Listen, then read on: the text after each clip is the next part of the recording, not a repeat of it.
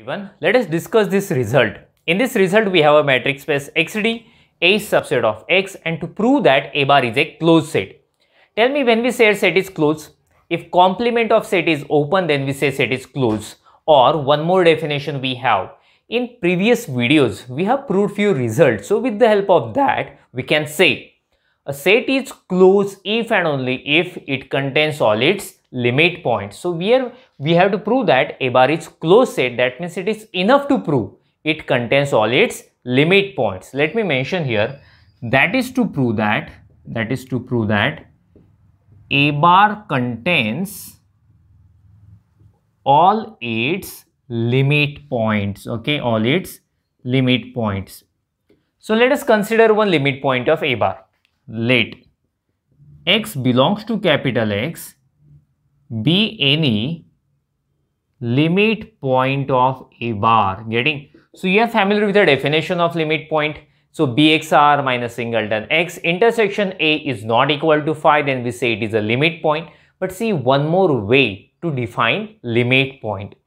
What is meaning of limit point actually? If a point is very close to that side then we say it is a limit point. So with the help of epsilon we can define the same.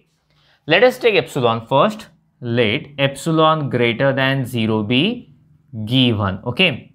So yes therefore we can say it is very close to x uh, sorry close to a bar. So therefore there exists some point y belongs to a bar such that d of xy is less than epsilon getting? So point is very close to a bar. That means it is possible to find one point of a bar such that distance between x and that point is less than epsilon.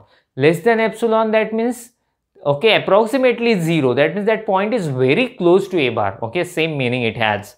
So I am going to do one adjustment. Instead of epsilon I will consider epsilon by 2 we will call it as 1 okay. So let us go further. So here we have got one point y belongs to a bar. So yes we have let me mention that thing we have y belongs to a bar. See, but in previous video we have seen what is a bar, a union a dash.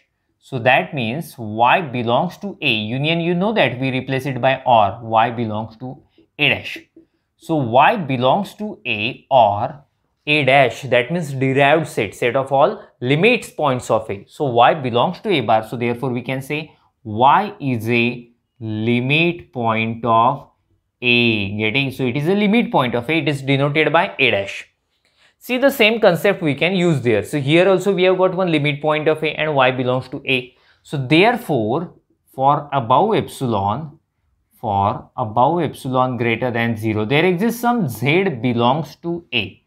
Since this time we have a limit point of a getting? Last time we had a limit point of a bar. So that's why we chose y belongs to a bar but now we have a limit point of a. So we should choose z belongs to a such that, let me complete it, such that d of yz is less than epsilon. So here also I am going to do that adjustment. Instead of epsilon, I will write epsilon by 2. This will be 2.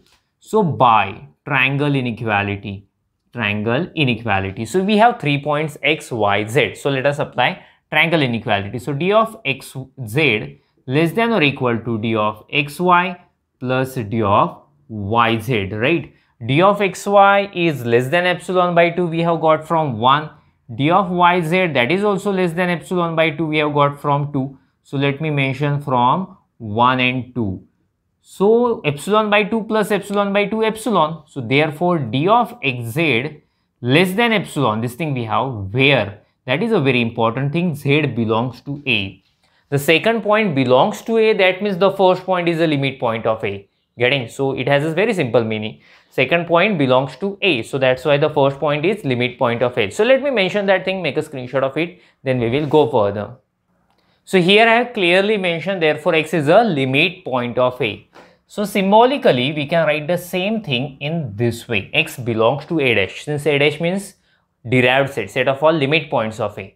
So x is in a, a dash that means it is in union also a union a dash since x is in a dash. So x belongs to a union a dash that is nothing but a bar. So x belongs to a bar getting. So actually x was any arbitrary limit point of a bar and finally we proved it is in a bar. So therefore clearly we can mention therefore a bar is a bar contains all its limit points. So therefore a bar contains all its limit points okay limit points so if any set contains all its limit points, we can declare it is a closed set. So therefore a bar a, uh, contains all its limit points. So therefore we can write a bar is a closed set. Getting so in this way we prove this result. Make a screenshot of it then we will stop. Thank you. Bye bye.